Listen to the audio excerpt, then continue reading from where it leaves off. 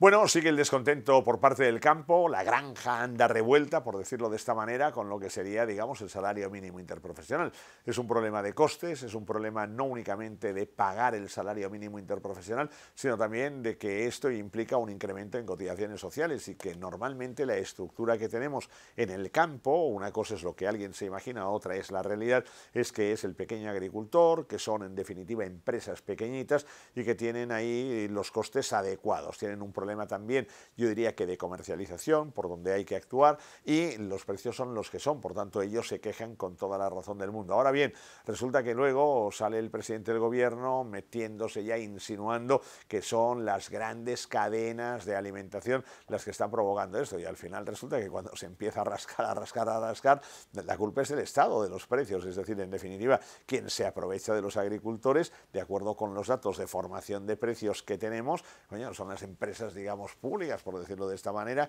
eh, los mercas, ¿no? que son los que tienen, eh, cargan el mayor margen. Por tanto, yo diría que vamos a ver realmente cuál es la situación del sector. Hemos de tener en cuenta que no únicamente el salario mínimo interprofesional, lo que es la subida, afecta a lo que es el sector del campo, también a la pequeña y mediana empresa y que esto, tal y como ya en principio decíamos algunos, está provocando menor empleo. Y no tan solo menor empleo, menor creación de empleo, sino también destrucción de empleo e incluso en algún caso que del empleo emergido se pase al empleo sumergido.